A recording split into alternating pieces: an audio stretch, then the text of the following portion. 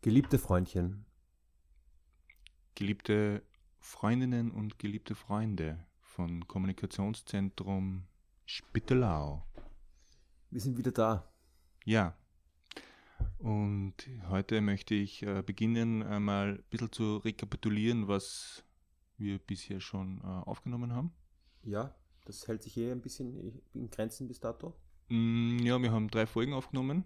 Folge 1, die Kälte. Da haben wir Gesundheitsthema raus aus der Komfortzone, rein in die Kälte besprochen. Ist das für, für die heute auch noch interessant, dieses Thema? Ja, natürlich. Also ich begebe immer wieder in meine Nicht-Komfortzone rein, durch kalt duschen.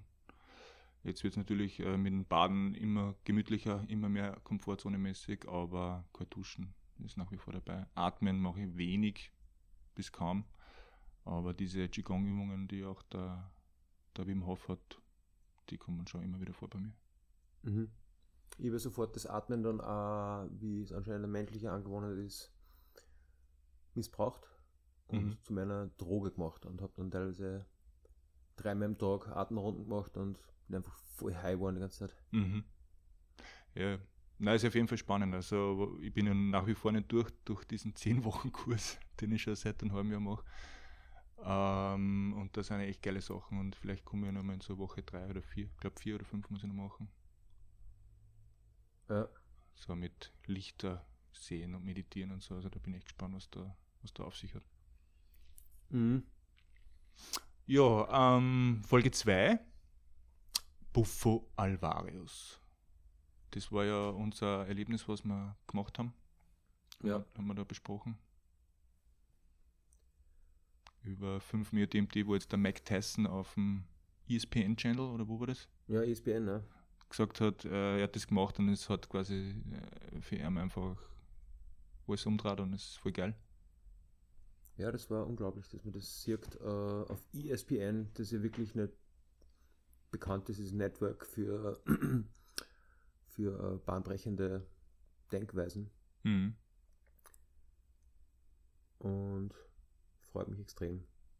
Lustigerweise eben jetzt auch gleichzeitig in Oakland Legalisierung von Ayahuasca, Psilocybin, äh, DMT. DMT im Allgemeinen? Ich glaube, DMT, es ist alles freigestellt jetzt. Mhm. Das ist nicht mehr unter Strafe. Das heißt, in Oakland kann man tatsächlich das legal machen. Mhm. Und da passiert wirklich was. Also Absolut. Also wir sind jetzt schon langsam dorthin gekommen, wo die Gesellschaft die psychedelischen Substanzen schon langsam wieder kennengelernt kriegt, sozusagen. Ja. Und ja, das war Folge 2. Und Folge 3 war über das Buch von Robert Salzmann, die 10.000 Dinge. Wie schaut es da aus? Du bist ja beim Übersetzen. Ich bin beim Übersetzen und ich habe tatsächlich jetzt einmal äh, eine gescheite Pause gebraucht, weil ich habe vor lauter Barmer den Wald nicht mehr gesehen. Mhm. Und habe ein anderes Buch jetzt auch gelesen, komplett. Von Chido Krishnamurti, Einbruch in die Freiheit. Und jetzt langsam tasten wir wieder hinzu. Mhm. Zur Übersetzung. Ja. Über das Buch quasi vor der Aufnahme nicht ganz fertig gelesen gehabt und habe es dann nach der Aufnahme vom, von unserem letzten Podcast dann fertig gelesen und in Wochen danach echt festgestellt, der Inhalt von dem Buch und das, was mir ich darüber denke, das tut tatsächlich was mit meiner Psyche. Ja. Also gerade ganz, ganz viel Aberglauben, den ich in mein Leben einbaut habe. Ja, vielleicht sogar unbewusst, oder? Unbewusst, ja, natürlich. Ja. Also ich, man macht einfach irgendwelche Denkstrukturen und äh, die Hinweise, was man in dem Buch eben liest, die decken das auf, das eigene Denken. Dass man da eigentlich sich selber die ganze Zeit austrickst teilweise und fahrt voll gut ein. Bin, bin nach wie vor in dem Prozess drinnen, dass ich quasi meine eigenen Tricks kennenlerne, die ich so störe meiner Psyche, damit sie sich ein bisschen besser fühlt. Ja. Und ja, und, und so sind wir eigentlich auch über das Thema gekommen, über das wir heute sprechen, über das Erwachsensein. Genau, das sind auf Deutsch ist es ein schönes phonetisches Begriffspaar, Erwachsen und Erwachen. Mhm. Und es ist nicht das Gleiche, stimmt in unserer Definition. Weil das werden wir jetzt gleich feststellen. Das schauen wir uns jetzt einmal an.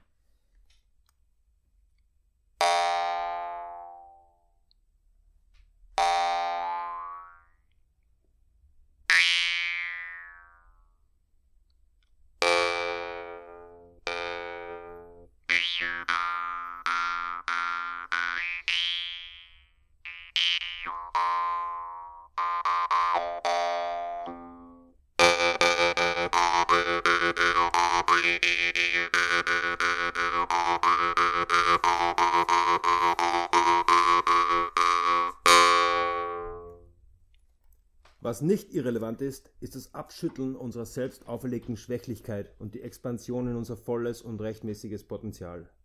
Menschliches Erwachsensein. Dort beginnt alles. Ob es darum geht, dorthin zu gelangen oder darüber hinauszugehen, es gibt sonst nichts zu tun und nirgends hinzugehen. Das menschliche Erwachsensein ist der Schlüssel zu allem, und wenn man auf der falschen Seite steht, ist alles andere egal. Das menschliche Erwachsensein ist das, wofür du kämpfen und beten sollst, deine Familie verlassen, dein Leben riskieren. Es gibt ernsthafte Arbeit zu tun und vielleicht liest du das, weil das die Sache ist, die du wirklich wissen willst.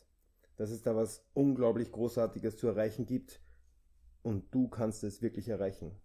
Und wenn es Religion braucht oder ein Zwölf-Schritte-Programm oder das Gefängnis oder ein gebrochenes Genick, um dich dorthin zu bringen, dann sind diese Dinge verdammt viel wichtiger als jedes Buch, das du jemals lesen könntest.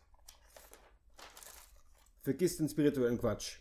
Wir haben alle Hände voll zu tun, um zu werden, wer und was wir wirklich sind und die allgegenwärtige Angst zu überwinden, die diesen natürlichen Prozess untergräbt. Das Erwachsensein ist keine hochgeistige spirituelle Errungenschaft. Es ist einfach eine normale Entwicklung, die von der Epidemie der Angst nicht beeinträchtigt wird. Es ist der Tod des Fleisches und die Geburt des Geistes, und in einer gut angepassten Gesellschaft würden wir das alle in der Pubertät durchmachen. Es ist nicht spirituell oder religiös, philosophisch oder wissenschaftlich. Es ist nur unsere natürliche Entwicklung, ungebrochen. Und dort ankommen ist nicht das Ende, es ist lediglich der Anfang. Hm, sehr schön. Das ist ein Zitat von Chad McKenna. Hm. Mir fällt das sofort dazu ein, dass ja wie in unserer Gesellschaft ähm, so ein Element nicht haben, was in vielen anderen Gesellschaften tatsächlich fester Bestandteil ist im im Leben von jedem Menschen und zwar ist es ein Initiationsritual. Das heißt, man erreicht eine gewisse Fruchtbarkeit vielleicht oder hat irgendwelche visionäre Zustände. Man hat ähm, ein gewisses Alter erreicht und man schickt dann quasi das Kind oder den unerwachsenen Menschen auf eine so eine Art Ritus, Initiationsritus und nach dem Ritus sagt man einfach, okay, ab jetzt hast du alle Werkzeuge in der Hand und du bist ein Erwachsener. Mensch. Und das fällt bei uns. Ja, das ist äh, möglicherweise auch deswegen so, weil äh, das ja tatsächlich auch den Tod riskiert. Also in zum Beispiel in Nomadenvölkern in der Wüste kann es ja sein, dass das, das, das, äh, das Kind oder der Jugendliche äh, seinen eigenen Weg finden muss und die Initiation besteht darin, dass es schafft. Und wenn er es nicht schafft, dann ist er tot. Mhm. Aber wir in einer Schiene, wo, wo man hingeleitet wird in ein Fake-Erwachsensein. Also letztendlich totale Stabilität erreichen, also totale äh, gute Noten machen in der Schule und, und sie schön das Geld zusammensparen und sich schön äh, gut behandeln mittels Ernährung und dann kommt man in eine Situation, die total stabil ist und dann von dort sollte man das restliche Leben quasi als Erwachsener leben. Und für mich persönlich hat es dann schon angefangen mit, würde ich sagen, vielleicht 13, aber dann wirklich mit 16, 17, dass, dass diese zwei Stränge so wirklich auseinandergängen. Also der, der, der von mir erwartet wird, vom Super-Ego, von Eltern, von, von Lehrern, von der Gesellschaft, dieser Strang und der, der Strang, wo mir schon bewusst war, dass also das, was ich eigentlich bin, ist nicht dieser Charakter, der sich immer in, in, zu mehr Stabilität entwickeln soll. Äh, und das hat sich zum Beispiel wiedergespiegelt. Also für mich ganz ein Schlüsselereignis ist halt, dass ich ein Zen-Buch gehabt habe, das mich total fasziniert hat über das Malen, Zen-Malen. Und das habe ich meinem Papa gegeben Und er hat mir es zurückgegeben dann und hat einfach gesagt, habe ich nicht verstanden. Mhm. Und für mich hat es dann halt wirklich zu einer totalen Explosion geführt. Also zunächst einmal totale Psychose und totales, totales Elend, weil ich, ich konnte quasi den vorgezeichneten Weg nicht einschreiten, das, äh, nicht beschreiten. Also der, der wurde, das, das ist irgendwas in mir innerlich. Hat sich da gewehrt? War vollkommen unmöglich. Mhm. Ja, ich meine, das sind ja quasi eh die altbekannten Sachen, ne? also Haus, Kind, Kegel oder wie sagt man da, Apfelbaum setzen. Also all diese materialistischen Dinge, die man erreichen soll, um dann als Erwachsener zu gelten. Ja, Volljährigkeit ist auch so ein Begriff, dass man sagt, okay, jetzt bist du 18, ja, damals waren wir 19, wenn wir volljährig geworden sind. Und äh, jetzt stößt du mir einfach dein Leben auf die eigenen Füße. Ja. Aber wir haben überhaupt keine Ahnung, wie das gehen soll, weil Materialismus ist sowieso bei uns im Überfluss da und wir wursteln uns da irgendwie durch. Und ich bin jetzt 38 und ich habe eigentlich bis vor kurzem gar nicht checkt, was Erwachsensein überhaupt sein soll. Ja. Mhm. Für mich war das genauso als ein, ein Mirakel und habe eigentlich immer dagegen gewehrt und habe gesagt, fuck, Erwachsensein, mich interessiert das nicht, ja, bis jetzt, ja, jetzt schon langsam nicht mehr, aber echt so quasi wieso, wieso soll die überhaupt äh, erwachsen werden? Ja? Weil die bauen ja nur Scheiße, die Erwachsenen. So ist mir mal vorkommen. Ja. Also ich bin mir immer so als, als, äh, als Mensch vorkommen, der in der Erwachsenenwelt eigentlich zugrunde geht. Mhm. Und erdrückt wird von diesen ganzen materiellen Dingen. Dabei ist eigentlich Erwachsensein was anderes. Und es, es gibt einige Leute, die haben, haben das schon untersucht. Es, also äh, äh, scheinendes Beispiel, kann man das sagen? Strahlendes, strahlendes Beispiel ist, finde ich, Eric Byrne, der diese Transaktionsanalyse äh, begründet hat mit dem Buch Games People Play. Also er hat eben festgestellt, dass in ganz, ganz viel oder fast allen ähm, Beziehungen zwischen Menschen äh, Skripten vorhanden sind. Und diese Skripten sind hauptsächlich so gelagert, dass man entweder als Kind agiert oder als Eltern. Also entweder sagt man den Leuten, was sie zum tun haben, oder man versteckt sich vor einer, man rebelliert gegen sie. Und diese ewige Spielerei ähm, ist letztendlich schmerzhaft und ein erwachsener Mensch würde eigentlich die, diese Skripte nicht brauchen und einfach mit sich selbst okay sein. Und dass man mit sich selbst okay ist, das ist einfach, da ist die Hocken. Hm. Das ist das erwachsen sein. Ja, das tut ja ein bisschen weh einfach, oder das Leben. Ja, wenn man sich einfach ehrlich ist, dann hat man einfach Zustände, die schmerzhaft sind, wo man darunter leidet. Und äh, man versucht das immer irgendwie wegzuschieben, eigentlich, und irgendwie zu heilen, dieses, diesen Schmerz, dieses Leid. Ja, man geht meditieren, man, man nimmt eine Psychopharmaka, man macht eine Therapie, man man, man flüchtet sich in eine Beziehung rein, die äh, eine gewisse Geborgenheit bietet, oder man hackelt Vollgas eine, um einfach da zu stehen und, und, und vergisst eigentlich sein Leid durch. Aber wenn man einfach ganz ehrlich ist ja, und einfach in sich reinschaut, dann ist dieses Leid, kommt es einfach immer wieder her. Und äh, Erwachsensein heißt einfach, das zu umarmen.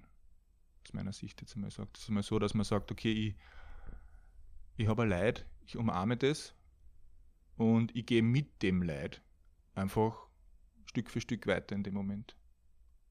Ja.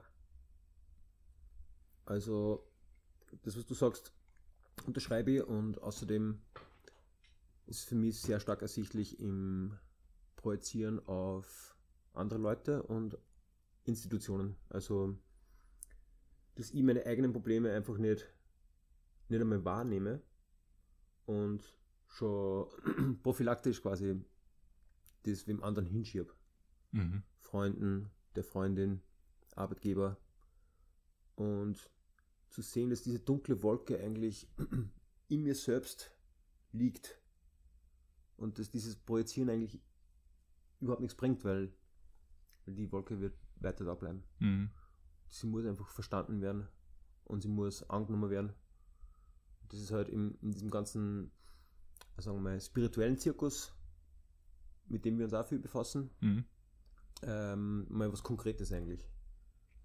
Ja. So. Also, es gibt von Jack Saturday, so steht es in meinem Skriptum, da gibt es so, so eine Folge von seinem Videopodcast auf YouTube, The Past Serious Journalism. Und äh, da beschreibt er eine Methode, die ich eigentlich unbewusst im Alter von, ich schätze mal, das war in der Schule, so 18, 19, 20 habe ich das angewendet und habe mich hingesetzt und habe äh, meine Probleme aufgeschrieben. Ja, ich habe einfach hingesetzt, habe Gedanken, die mich gequält haben, zu Papier gebracht und habe somit quasi den Moment genützt, um quasi den Nicht-Moment, den man hat, in dem man halt seine Gedanken äh, in die Probleme ausbreitet, die in der Vergangenheit liegen ja, oder in, in der Zukunft liegen und die aber eigentlich gar nicht existieren, habe ich einfach trotzdem konkretisiert und zu Papier gebracht. Und er beschreibt da quasi, dass man so, äh, so ein Tool einfach kriegt und sagt, okay, ich tue das, was eigentlich unmöglich ist, formulieren, nämlich Probleme artikulieren, das aufschreiben und kann das einfach somit einfach reflektieren. Vielleicht kannst du da noch mal ein bisschen mehr dazu sagen, wie er das genau darlegt in diesem Video. Ja, also ich weiß überhaupt nicht, wo dieser Typ herkommt, aber es ist wirklich, wirklich geil. Also, den findet man sonst nirgends im Internet. Der hat einfach nur ein paar YouTube-Videos. Oh, das verstehe ich nicht ganz, aber, aber er sagt eben, man haftet ja auch an der Vergangenheit. Also man kann immer nur sagen, also das existiert nicht, die Vergangenheit und so. Aber es gibt anscheinend irgendeinen Gedanken, der, der einfach eben dort einfach ist. Und, und durch dieses, dieses Rausbringen, also dass man es einfach schreibt oder quasi einen wirklich äh, ernsthaften Journalismus sozusagen betreibt, kann man das lockern. Und ähm, also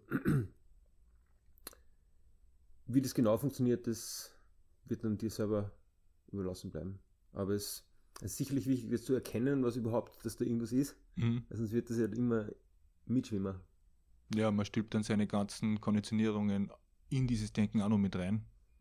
Und durch den Vorgang des Schreibens, der einfach ein Moment, also ein, Akt im Moment ist, äh, löse ich mich einfach weg. Ja. Und, und es entsteht einfach eine Handlung.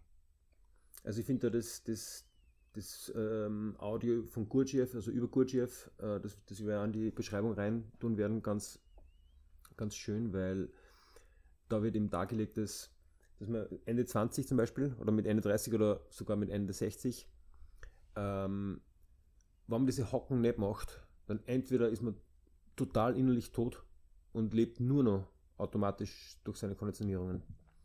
Man weiß einfach, ich bin so ein Mensch und so ein Mensch, ich brauche unbedingt am Wochenende das Kino und ich brauche äh, nach der Arbeit mal joggen und, und, und also quasi ich, ich, ich, ich habe die und die Wege, wie ich mit Sachen umgehe und dann stirbst du einfach letztendlich vollkommen ab innerlich. Und das wird dann wahrscheinlich so die etablierte Gesellschaft sogar bezeichnen als erwachsen. Aber das, das, das ist nicht wirklich die Fülle des Lebens. Und die andere Möglichkeit, die man hat, ist eben, es ist andauernd diese dunkle Sache, also ungelöste Sachen aus der Vergangenheit, Ängste über die Gegenwart und Zukunft. Und das ist immer unter dem Teppich und man ist einfach nur ein heilloses Durcheinander. Und was Gurdjieff, dieser relativ berühmte spirituelle Meister, für Konzept entwickelt hat, ist Conscious Labor und Intentional Suffering. Also im Gegensatz dazu, was, was ich gerade beschrieben habe, dass man da wirklich einfach immer von der Arbeit heimkommt und am Wochenende das macht und, und sie einen Urlaub bucht und, und einfach nur das ganze Leben durchkategorisiert, kann man quasi eben wissentlich auf diesen Kern der Sache, das beschreibt er als Ei, mhm. als fettes Eidopter, das besteht aus aus, aus deinen tierischen Instinkten, die, die alles betreffen, wie zum Beispiel äh, Essen, Ficken, Schlafen, Schutz, äh, aus, aus deinen Ego-Geschichten, die hauptsächlich aus Kontrolle bestehen, Kontrolle über die jetzige Situation, über die Zukunft, Wettbewerb. Und aus Super, Super Ego-Elementen, also aus Sachen, die man machen soll, glaubt, machen soll oder nicht machen soll, Schutz, ein Schuttens, mhm. diesen fetten Eidotter, den zu essen, das bedeutet Conscious Labor oder bewusste Arbeit. Das ist ja sowieso geil. Also, wie du das jetzt zum ersten Mal dargebracht hast, was man da vom Gurdjieff hört, dass man da einfach ein Eidotter ist, haben wir gedacht, so, ja, wie soll denn das gehen? Wie kann ich, wie kann ich mich selber auffressen? Aber das ist eigentlich genau das, was, was man immer auch macht, wenn man jetzt seine Sachen aufschreibt, einfach oder einfach den Moment von, von dieser Vergangenheit, diesen ganzen Pein, den man hat, einfach wirklich ins Gesicht einschaut und wirklich quasi in sich aufnimmt und dann aufgeht. Und was, was ich noch nicht ganz kapiere, ist quasi, wie, wie hilft dann das dann eigentlich? Also welcher Mechanismus was ist dann eigentlich die Befreiung sozusagen? Oder was, was, was ist da das erwachsene Traum, wenn ich das mache und nur nicht einfach das weggeschiebe? Immer weiter, immer weiter, immer weiter.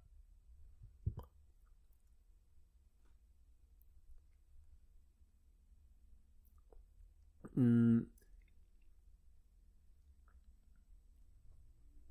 Das Erwachsene dabei ist einfach eine Geradlinigkeit, eine Aufrichtigkeit und ich bin sehr froh, dass du eigentlich äh, das, das irgendwie geil findest. Weil es, es gibt ja viele Leute, mit denen habe ich auch Kontakt, die, die sagen, halt, ja Mann, was, was ist schon mir drin? Es ist ja, da gibt es nicht viel zum Holen. Mhm. So der Scheiß. Ich sitze herum, es fahrt. Aber, aber, aber das, das stimmt ja nicht. Mhm. Das, es wurdelt so extrem da drin und nachdem es da so, so viel wurdelt, äh, haben wir so super kulturelle Massentechnik, um das total auszublenden. Also komplett auszublenden. Und warum ist das nicht erwachsen?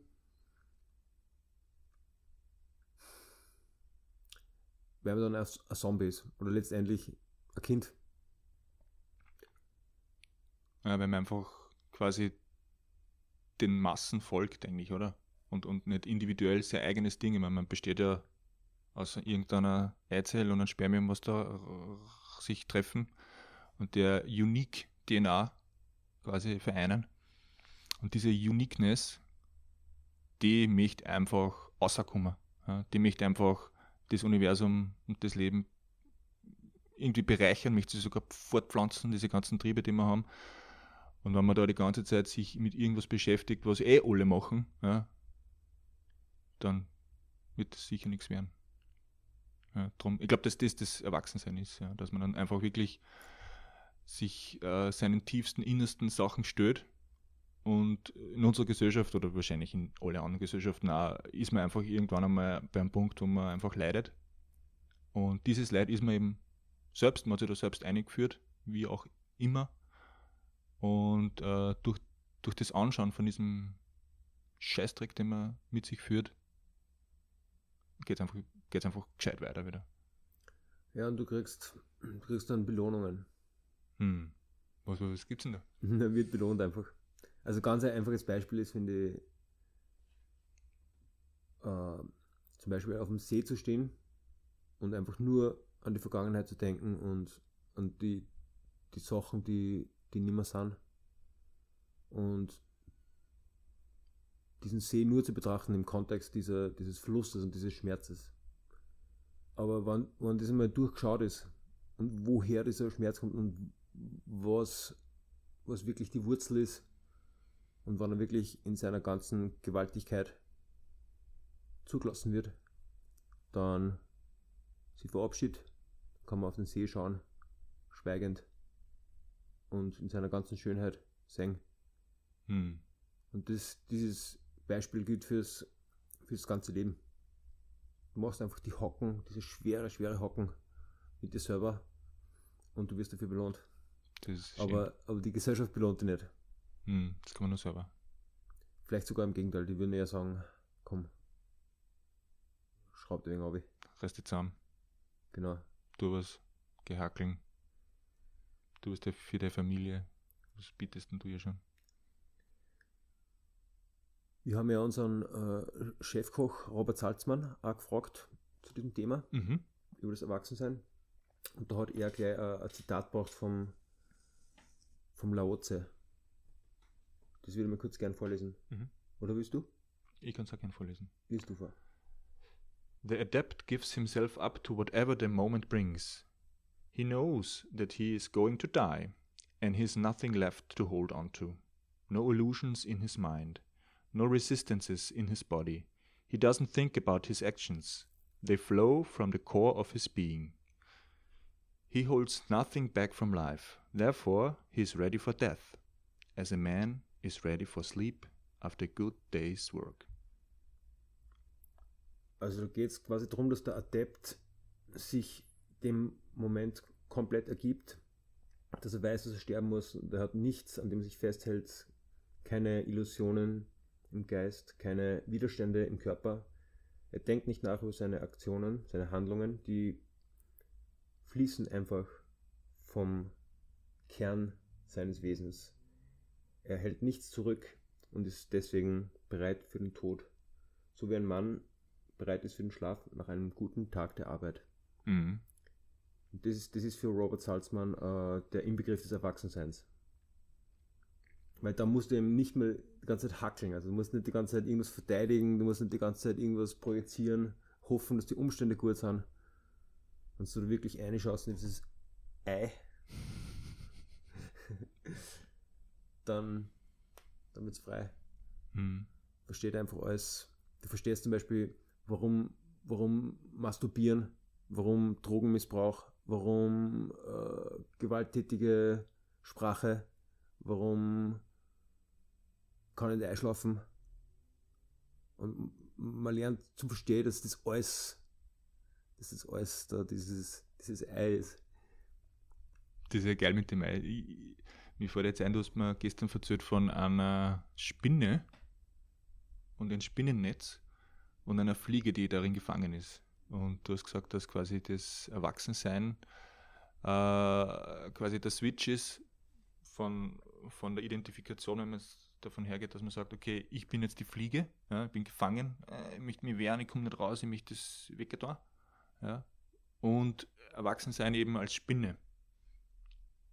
Und am Anfang habe ich mir gedacht, so, hm, okay, eine Spinne, der Predator, quasi der Räuber, wie, wie passt das zusammen mit einem Erwachsensein? Aber du hast mir dann erklärt, dass, dass das Netz von der Spinne ja aus der Spinne selber rauskommt. Das heißt, man ist wirklich einfach quasi der, der was das Ganze erzeugt. Und äh, man kann erstens einmal das Netz auch wieder auffressen, das machen viele Spinnen. Und äh, wenn jetzt irgendwas daherkommt, was sich da drin verfangt ja, und ein Gravurstell erzeugt im Netz, dann, dann muss ich nicht die Fliege sein, die sich da irgendwie versucht herauszuwurschteln, sondern ich kann einfach hingehen und das einfach fressen. Mhm. Ja, ich finde das Bild echt geil. Also. das ist geil. Das habe ich von ähm, Shiv Sen Gupta. Das sage ich nur dazu, da, damit man nicht glaubt, dass ich der Geniale bin. Mhm. Und ja, das ist eine, eine schöne Geschichte. Ich lese mal kurz vom, vom äh, Robert nochmal das, was er da am Schluss geschrieben hat. The word adult has two different meanings. One meaning is physiological and age related, but that is not how I'm using that word. I mean adult psychologically. This is rather rare, I find, and is a condition that many people are dead set on avoiding, including those who like to misuse authority. Das heißt, er, er beschreibt dann quasi echt quasi dieses, dieses Erwachsensein und das ist ja das, was wir da jetzt in, in dieser Folge vom Podcast herauskristallisieren wollen, ähm,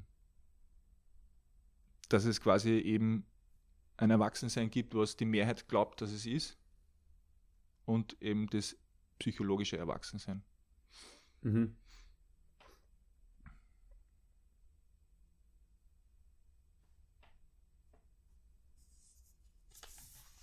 Wir haben da so ein super Skriptum zur Vorbereitung. Ja.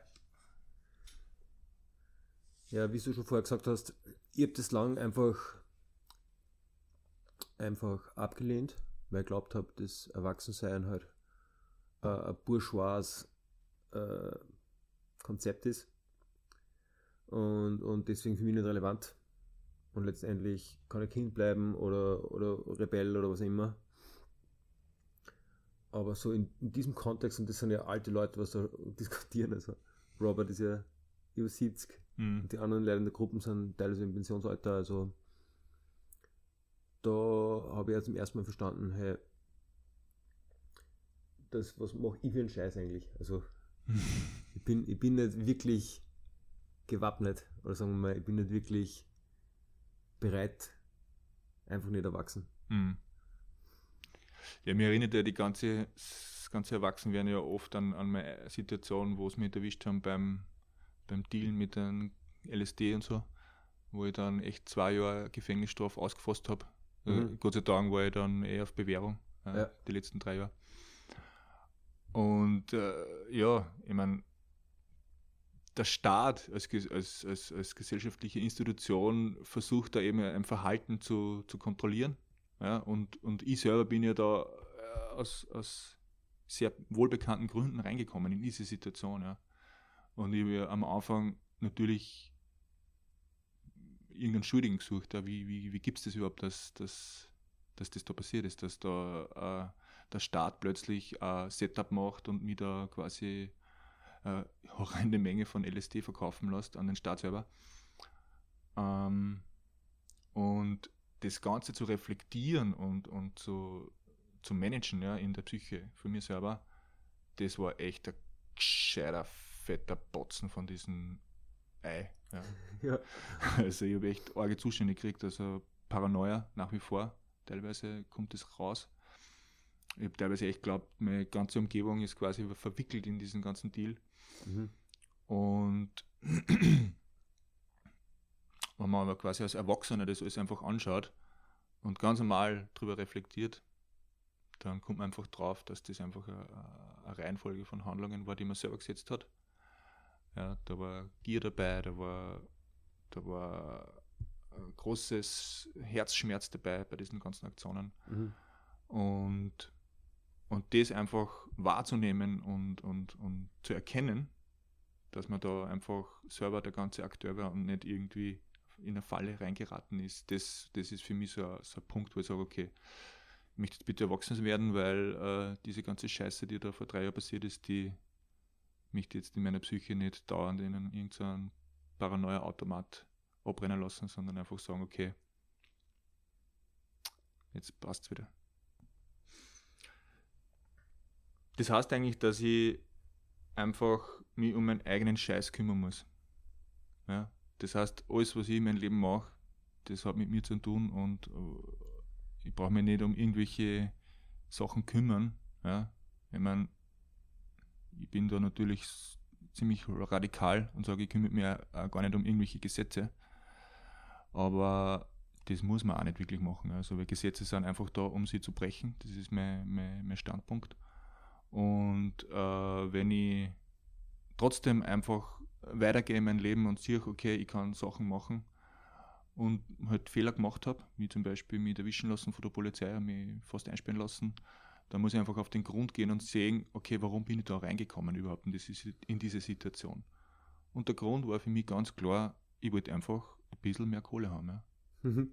Das ist ganz einfach zum Sehen. Ich habe damals wollte Aktien kaufen und dachte, okay, ich investiere das und das Geld, vercheck das und das und dann kriege ich das und das ein bisschen mehr raus und das tue ich dann auf Zeiten und das in Aktien rein. Das heißt, ich habe eigentlich durch Gier, von meiner eigenen Gier, die natürlich ein kindliches und ein menschliches und, und tierisches Grundbedürfnis ist, ja, wenn ich irgendwo bin und wie so ein Viech irgendwo was außerreiß ja, und, und, und nicht mehr aufhören kann, weil ich einfach vollen Hunger habe, dann äh, ist es die Gier und ähm, beim Geld sollte man halt nicht gierig sein, weil Geld kannst du so nicht fressen. Mhm. Ja, die Situation sieht ein bisschen parallel bei mir mit ähm, schwierigen Beziehung. Man wollte einfach auch voll durch extrem viel Begierde und dann gleichzeitig auch noch Schutzbedürfnis mich quasi eingerollt habe wie ein Kokon, wie eine Raupe und dann ganz verwundert war, dass mir da der ganze der ganze Schlafsack weggerissen wird. Und ja, meine erste Reaktion war halt hauptsächlich mir als Opfer von mir selbst darzustellen. Pech, schlimme Frau und so weiter. Aber im Zuge des Erwachsenwerdens, also stellt sich raus, dass alle Probleme auf meiner Seite sind meine Probleme und nicht irgendwie durch andere Leid verursacht, sondern die sind durch den Samen im Geist entstanden. Und ja, also die, die Hocken wird größer, sagen wir so. Mhm. Es wird immer mehr. Also je länger das man schleifen lässt, desto komplizierter wird es. Ja. Das ist ja das Unglaubliche, finde ich auch beim, beim Menschen, der ja mit 18, 19, 20 eigentlich wirklich mal eigentlich die Handgriffe, die notwendig, notwendig sind in diesem Leben, eigentlich Intus haben sollte. Von Autofahren bis Zähneputzen. Aber erst dann wird es wirklich kompliziert. Also, weil das, das, das baut sich ja, das türmt sich ja auf, diese innerlichen Konflikte, Konditionierungen. Es wird nicht leichter, weil der Körper ja nicht besser wird.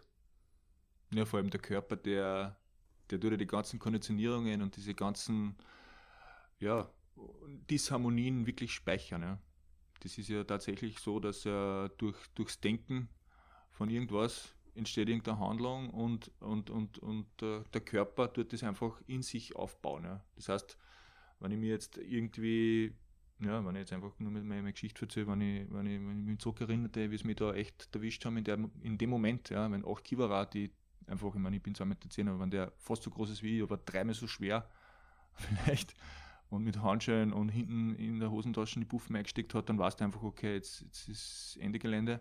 Und da habe ich mich einfach, ja, so wie ich es gelernt habe und konditioniert worden bin, äh, in Vipassana, einfach in einen meditativen Zustand versetzt. Mein Hirn hat aber voll weitergerattert. Ja. Das Hirn war einfach natürlich auf Turbo Boost eingestellt. Alles ist aber prasselt und der Körper hat natürlich dann das alles einfach irgendwie verarbeiten müssen. Ja. Weil eigentlich natürliche Reaktion ist einfach, den einfach trotzdem bekämpfen und ins Gesicht einschlagen und wegrennen. Ja, der, Körper, ja. der Körper will aus so einer Situation raus.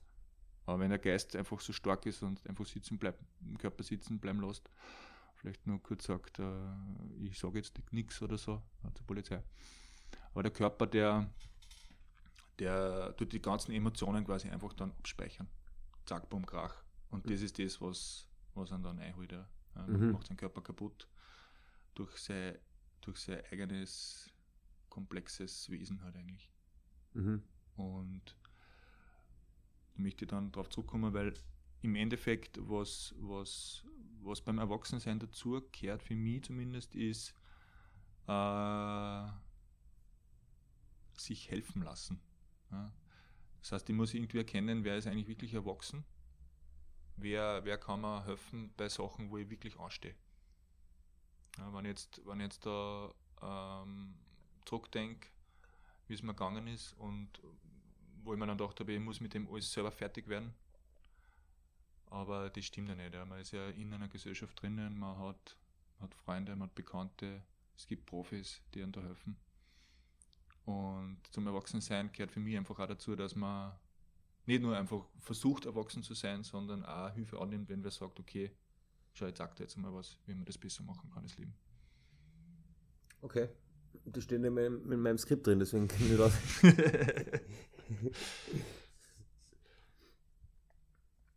Von wem ist eigentlich dieses Gedicht da? Das habe ich noch gar nicht so checkt. Ist das das vom, vom Markus?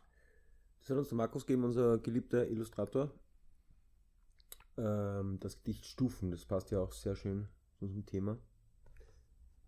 Wie jede Blüte welkt und jede Jugend, dem Alter weicht, blüht jede Lebensstufe, blüht jede Weisheit auch und jede Tugend, zu ihrer Zeit und darf nicht ewig dauern.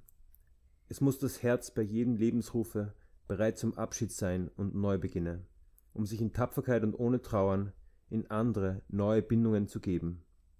Und jedem Anfang wohnt ein Zauber inne, der uns beschützt und der uns hilft zu leben.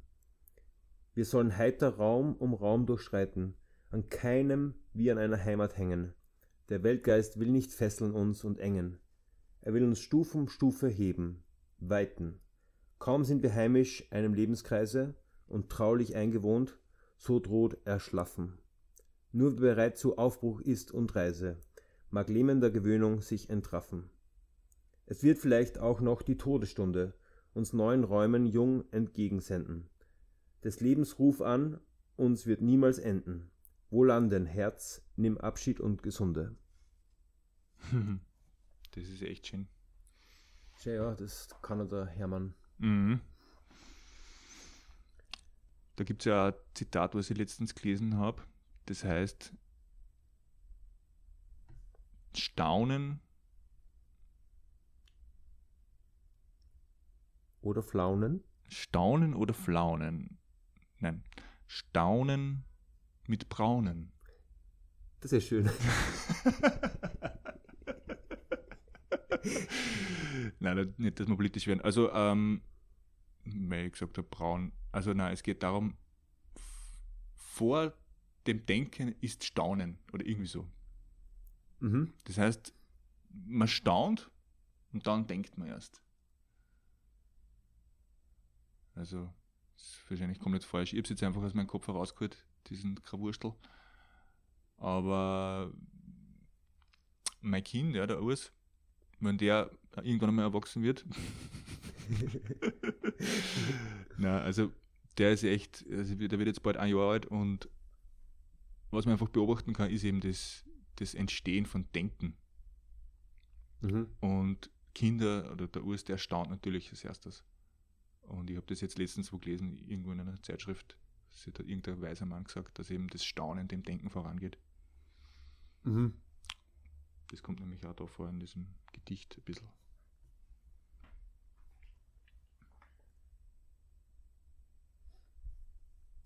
Dass man nämlich in der, im Erwachsensein ja trotzdem irgendwo ein Kind bleibt, oder? Weil man gibt ja jetzt nicht einfach sein, sein, sein Kind komplett auf. Man ist ja trotzdem noch einfach der, der geboren wurde. Mhm. Aber das, das, das Erwachsensein, das hat für mich nichts Ernstes. Ja. Natürlich ist es irgendwo eine, eine, eine ernsthafte Angelegenheit immer wieder im Leben, aber das, was wir unter psychologischen Erwachsensein irgendwie da jetzt versuchen zu beschreiben, da darf einfach dieses Kindliche nicht fehlen, ja, dieses Staunen und dieses, dieses im Moment sein. Ja, das Ernste ist einfach das, dass wir in einer Situation sind, wo alles vergeht. Und sogar noch schlimmer stirbt. Mhm. Und also das ist schon ernst. Egal ob jetzt für ein Kind oder für einen Erwachsenen oder für Eltern. Und ja, also das, das wie, wie es auch so schön in diesem Gedicht von Hesse vorkommt, da auf dem Lautze, einfach das einfach fließen zu lassen bis, bis es so fließt, dass man nicht mehr, mehr lassen muss. Mhm. Das einfach fließt. Das, das finde ich ist das Erwachsensein. Und da in diesem Fluss kann man dann wieder zum Kind werden, weil du kannst ja dann mit Seifenblasen spülen oder, oder durch Wiesen tollen oder einfach herzhaft singen mhm. in irgendeiner Schlucht rein. In ein Echo. Ja. Das ja. ist alles erlaubt und, und ja, in der Transaktionsanalyse zum Beispiel ist ja das auch, ähm, also ist nicht verboten, dass man zum Beispiel aus dem Kind-Ego agiert. Zum Beispiel für Künstler ist das ganz, ganz super. Die, die ganz bewusst ins kindliche Ego sie begeben und dort die, die, die meiste Kreativität haben und die meisten poetischen Einfälle. Mhm. Also das Kind abschaffen, das ist glaube ich nicht der Sinn und Zweck dieser Sendung. Na gut, dass wir das einmal festgehalten haben, weil das war ja auch so ein bisschen so, so ein bisschen so ja, für mich lebenslanger Kampf, da irgendwie erwachsen zu werden. Weil, mhm. weil man immer befürchtet, dass man dann aufhört, der zu sein, der man eigentlich immer war. Nämlich so ein lustiger, gemütlicher, leibender Haberer, ja. Ja. Eigentlich. Ja, aber aber das, was du meinst, ist, glaube ich, mehr das Eltern, das Elternego. Hm, was meinst du jetzt genau? Also zumindest äh, in meinem Verständnis ist es so, dass das Also das ist wirklich Verknöcherte, was immer recht haben muss, was immer die Leute sagt, was zum Tun ist, was immer moralisch überlegen ist, Mhm. was immer die Meinung durchdrucken muss. Das, das wird in der Transaktionsanalyse als Elternego bezeichnet. Mhm. Also das ist nicht das gleiche wie das Erwachsene. Ja, das stimmt, ja. Drum, das habe ich immer verwechselt. Ne? Ja. Okay, mein Lieber, jetzt sind wir eigentlich durch mit unserem Thema, oder? Ja, sicher. Also jetzt haben wir eh ziemlich viel geredet, immer wieder mehr und, und, und ich hoffe, dass man es das mal ein bisschen mehr verstanden hat. Also wir versuchen ja ein bisschen Qualität reinzukriegen. Ich glaube, da haben wir schon ein bisschen durcheinander drin gehabt. Okay, bin einverstanden, dass wir da durcheinander drinnen gehabt haben, immer wieder, aber das ist trotzdem das Ende für den Podcast heute. Ja. Jetzt möchte ich dich vielleicht zum Essen einladen. Willst du was essen? Ja, ich hätte ich einen Hunger, ja. Freue mich. Dann spielen wir kurz Lil. Spüren Sie ein little und, und ich mache schon mal die Augen zu. Passt für dich.